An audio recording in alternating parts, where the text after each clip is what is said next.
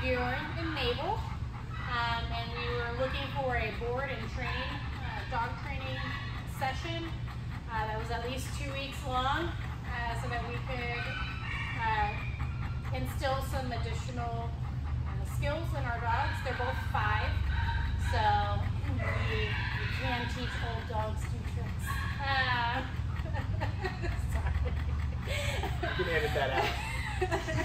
um, I was really worried about Mabel on, um, uh, I guess, is it shock collar or a pressure collar? An e-collar. An e-collar.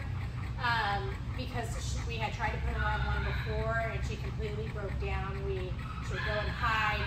It wasn't. She wouldn't be trained on it. She wouldn't listen on it. But obviously, as you can see, uh, she is now able to be on an e-collar, and I'm really excited to be able to start letting her outside, working on her recall um, without her having to be on a leash, because that was another thing I was really worried about. If she was ever out and not on a leash, that she would never come back to me.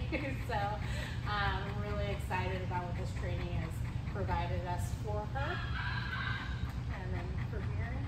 Yeah, Bjorn's he's he started off as like an awesome dog just because Berners are awesome dogs and they're smart and they listen and they want to like um, they want to please you.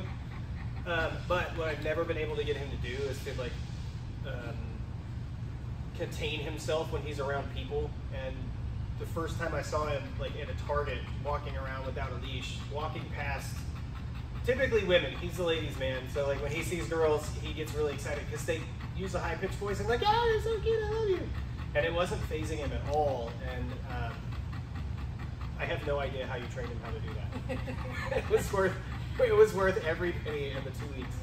Yeah. Um, it totally works. So um, I am